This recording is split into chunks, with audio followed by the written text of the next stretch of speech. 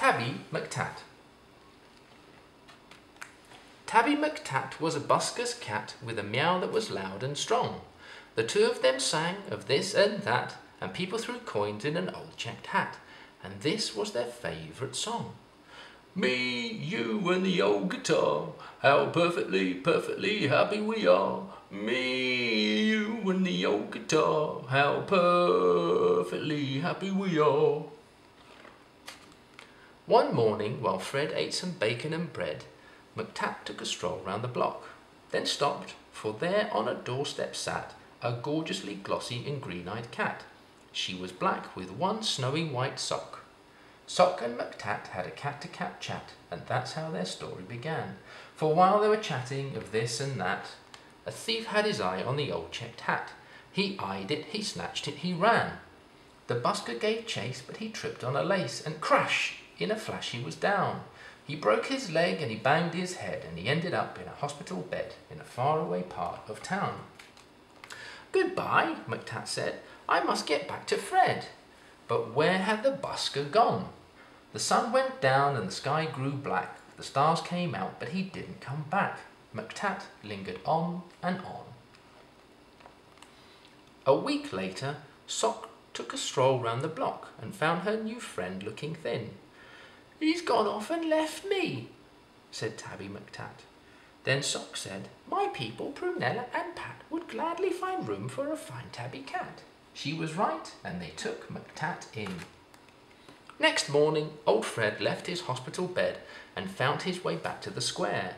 But a brass band stood where the pair once sat, and the band played this and the band played that, and Fred looked all around for his loud meowed cat, but Tabby McTat wasn't there.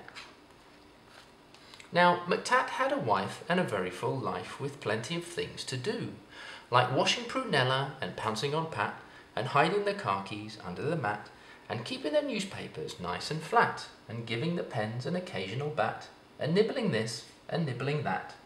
But he dreamed of his friend with the old checked hat, and always woke up with a mew. And often he said, What's happened to Fred? And his paws took him back to the square, but a conjurer stood where the pair once sat, and he pulled out this and he pulled out that, and people threw coins in a tall black hat, but the busker was never there. One morning Sock said, Look under the bed and see the three kittens I've had. And Soames looked like this, and Susan like that, and the littlest kitten, called Samuel Spratt, looked exactly the same as his dad. The three kittens grew, and they learned how to mew, and McTat sometimes sang them a song. And Samuel Spratt, with his tabby grey fur, had a deafening meow and a very loud purr, and he simply loved to sing along. Me, you, and the old guitar, how perfectly, perfectly happy we are. Me, you, and the old guitar, how perfectly happy we are. When Susan and Soames found very good homes, their parents were happy and proud. There was one home like this and another like that.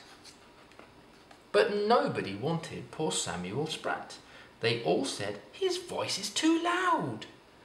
Now Tabby McTat was a home-loving cat, but he couldn't stop dreaming of Fred. And one day he called for his wife and his son, and he told them, There's something that has to be done. I must go and find him, he said.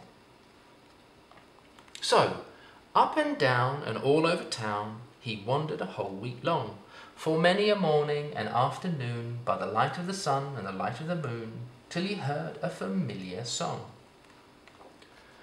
Just me and the old guitar. If I had a cat, I'd be happier far. Just me and the old guitar. With my cat, I'd be happier far. It's Tabby McTat. It's my long lost cat. Old Fred was ecstatically glad. Then the two of them sang of this and that, and people threw coins in a new checked hat. But why was McTat feeling sad?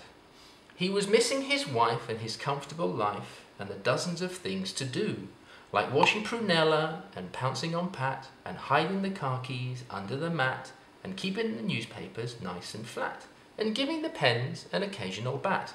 But how could he tell the busker that? Then out from a shadow sprang Samuel Spratt. Oh, please let me be the busker's cat, he said with a deafening mew. Now Samuel Spratt is the busker's cat with a meow that is loud and strong. The two of them sing of this and that, though Samuel sings just a little bit flat, and people throw coins in the old checked hat. And this is their favourite song. Me, you, and the old guitar, how perfectly, perfectly happy we are. Me, you, and the old guitar, how perfectly happy we are. The